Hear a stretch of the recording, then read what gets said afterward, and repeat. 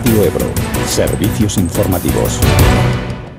El gobierno de Aragón y General Motors estudian la salud cardiovascular de los trabajadores en un proyecto donde trabajan investigadores del Instituto Aragonés de Ciencias de la Salud y del Centro Nacional de Investigaciones Cardiovasculares. El estudio se inició en febrero de 2009 tras la firma de un convenio entre el Departamento de Salud y Consumo y el Instituto Carlos III, y para conocer de cerca el desarrollo de este acuerdo que pretende conocer la salud de los trabajadores y tratar de prevenir enfermedades cardiovasculares, la consejera de Salud y Consumo, Luisa María Noeno, visitó la fábrica de Opel en Figueruelas, de la mano del director general de General Motors España, Antonio Cobo, y del codirector científico del estudio, Eliseo Guayar.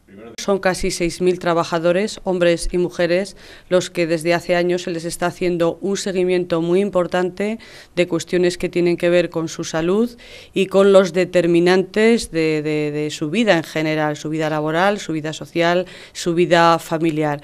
¿Por qué? Eh, porque pretendemos de esta manera anticiparnos a posibles enfermedades, a posibles desarrollos, eh, en concreto de una enfermedad que es la primera causa de mortalidad en nuestro país, que son las enfermedades cardiovasculares.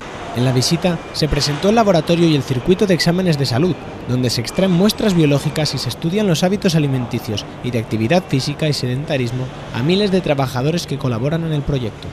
La seguridad y la salud es y ha sido siempre nuestra prioridad en GEM España.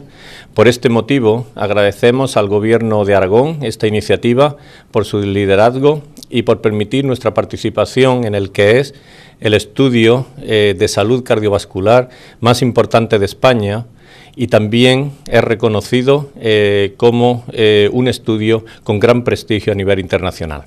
Estas muestras son procesadas y posteriormente almacenadas en un biobanco en Madrid y otro en Zaragoza, en el Instituto de Ciencias de la Salud.